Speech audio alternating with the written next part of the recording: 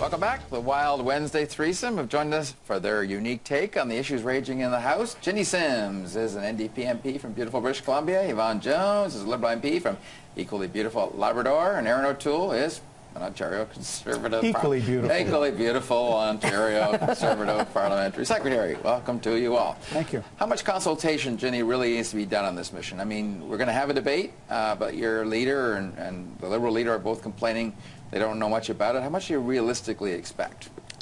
I think there needs to be a real debate in Parliament because Canadians want a debate before we commit. It's coming. Soldiers. Yeah, it's coming. But I think we also have to look at we've got a government that seems to be determined to rush us into a war, even after a debate. But we've got to look at what are the other possibilities, other ways to tackle this uh, horrible atrocities that are happening over in Iraq. And I think history should teach us something. And what it is, is we're dealing with a moving target. We're not dealing with a stationary target. And I'm really, really worried what kind of a lengthy commitment we're going to be making here and what kind of damage is going to be done to civilians as well. Okay, Yvonne, I mean, uh, Justin Trudeau was pretty emphatic. I want more information. I deserve to know it. I need to know it before we can make a, a lucid decision on this.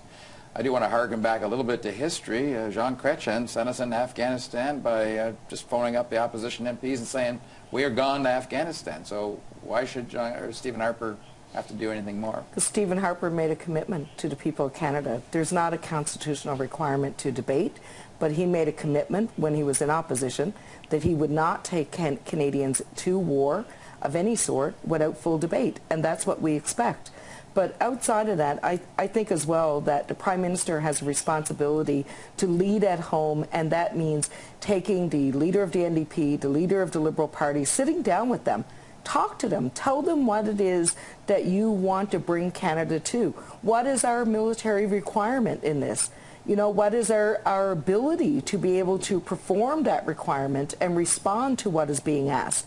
And I think that for any of us to go into the House of Commons and to have this debate, we need to be fully briefed on it. And that's the only way we're going to do justice to the people of this country in making the right decision on their behalf. Erin, I, I must say, and I know you're not going to confirm this, but I'm told reliably it was raised extensively in the Conservative caucus, strong show of support for the Prime Minister's position on this. But why should Conservative Conservative MPs be told any more than the rest of the MPs. We all have voters. We all have soldiers that might be involved uh, in this uh, conflict. Shouldn't it be out there for everyone at the same time? Uh, absolutely, it will be. There's been no decision made, Don. I, I think what my colleagues conveniently omit is from the start, the Prime Minister has proceeded very cautiously here. There's been no rush to action. And in fact, the advisors that were deployed, there was automatically a review period of 30 days put on to see the international effort organized by President Obama that involves Gulf states, how is the impact after 30 days? Are our advisors helping? Only a third of them have actually got there. The, and, and that, that, that, was a, that was a limited. So you could see we've approached this very, very strategically to be limited and to make sure that each step was watched carefully. And the Prime Minister has always said that if anything ever comes that would be of a combat nature, that would come to the House uh, for a debate and a vote, as it should be, uh, all members will take part in that debate. But what's been funny has been the evolving politics on this, where at first the NDP said any type of deployment at all should be debated. The, the, Liberals supported it. Now, some sort of intervention, now they don't. It sounded like Justin Trudeau's questions no, were no, written we, by Tom Mulcair today. We it, supported the 30-day operations. That's different from a combat mission. And you've got to understand that. The first request was for 30 days to do training, to give advice. That is what was supported by our party. Right now, what the ask is of the federal government, from what we can understand from Harper's comments in the U.S., because we didn't get much in the House of Commons, is that they want to step this up. If you're talking uh, F-18s, you're talking combat. Either way you look at it, whether it's boots on the ground, as people like to call it, or planes in the air, when you start dropping missile, missiles, you're into a combat I thought position. Justin Trudeau supported that, though. I thought that Justin Trudeau supported like the idea of sending in our CF-18s to join the coalition. And Am I misreading that? He, he did support that, already. and I think this is what it comes down to. We've got flip-flopping on one side, and we've got let's rush and get in there. And you know what? We haven't had that debate, and we don't have the information. And when we look at our role in whether it's been in Syria or Libya, aren't these the same people who we were supporting with weapons and we were on their side as we went into Libya? That is so ironic. really, when you're looking at a moving target, then the target moves, you know. We look at what happened in Afghanistan, look at what happened in Libya, look at what's happened in Syria, and here we are again thinking that just going in, throwing bombs is going to fix That, the issue. that is not what is being contemplated. Look, the Prime Minister's taken a Well, I very wish we knew what calculated and deliberate approach on this, which is we're always going to talk with our allies. How have the original uh, strikes from the U.S. and some of the Gulf states, have they made an impact? Have they cut off the resources for ISIL and their supply lines, that sort of thing?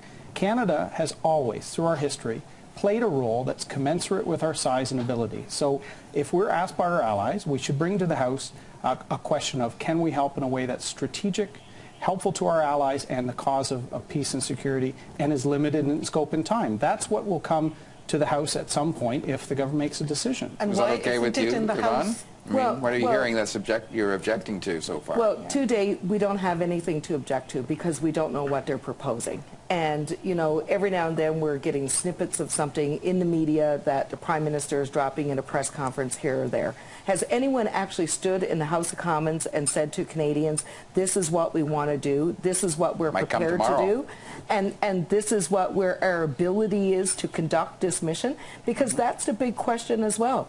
You know, the last five years we were in Afghanistan, we were leasing missile defense equipment from other countries in the world. We didn't have our own equipment to be able to do what that, that whole mission turned out to be at the, The- end of the the, Liberals day. sent our And troops this to is the fair- Afghanistan in green this uniforms. is the We- fair we have- that we, we have have given the today. troops what they need when and they it's need the, it. It's, it's a fear that we, have, today. We Last have, quick word, We have a Jenny. government that really wants to rush into this war, is appearing more hawkish than even people to the south of us and around the globe. That's right. And what I'm saying is, what we need is to take a deep breath and let's take a look at what will actually work. Let's look at what some of the experts are saying, and then let's let's also assess exactly- what our position is going to be.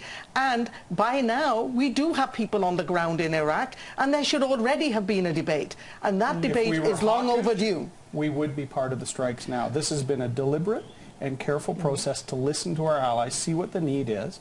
But these parties clearly don't think Canada has a role in the world and role in That international is not security. That is not I, true believe, at all. I believe that Canada they does should have a explain role, their positions, and our role is one of peacekeeping. It's a providing support and tackling the real, real issues root causes, around that's right. Uh, uh, uh issues around terrorism. Ten seconds or uh, less? No, I was going to say I, I believe we do have a role, but our role can only be determined by the capacity that we have to exercise it.